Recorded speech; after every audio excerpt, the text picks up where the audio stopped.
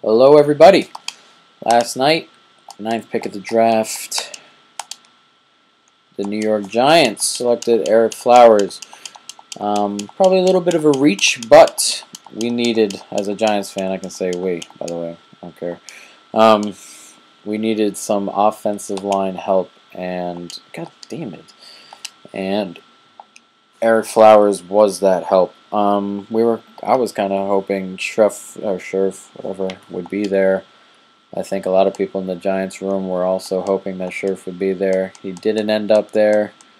Um, Redskins took him, but that's all right. We got ourselves a good player here. He's going to be a good player. It's a bit raw. He probably needs a little bit of time, but this lets Pugh push inside, and that's good. Well, look at that strength right there, 100. I didn't expect that. Pass block 97, run block 93. That's pretty good right there. Acceleration 88, awareness 91. Six foot six. This man is a massive, massive, massive human being.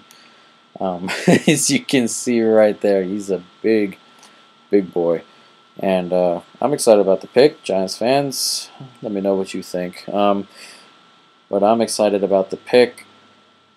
Um, for the sake of this, I'm going to be doing all these uh, players, guys. So be a part of that. Um, subscribe. I'm going to be, as I said, every single player. We're going to finish that master collection at some point.